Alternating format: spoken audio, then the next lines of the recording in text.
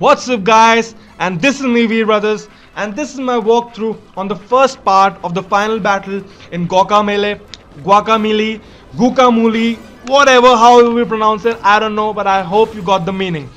This game I got free with the PlayStation Plus subscription for the PlayStation 3 console and the PlayStation Vita.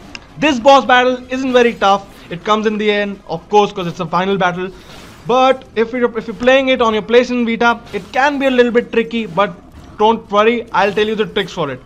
It has three kind of colors. The boss will have three kind of colors: the red one, the blue one, and the green one. And it'll let you know maybe the yellow one too. I don't exactly remember, but you'll get to know while you watch this video and while you play the game. So what we're gonna do is we just jump and you'll get the power of double jump. We'll just jump and just avoid him as much as we can. And when he moves back like this, alright, you saw this? He becomes red, so I attack him with the arrow up and the circle button. If he like this. If he becomes other color, for example, if he becomes blue, then we attack him with left and circle like this. And if he becomes green, which is uh, you go up and you come down with the circle button. This is how you're gonna beat this boss.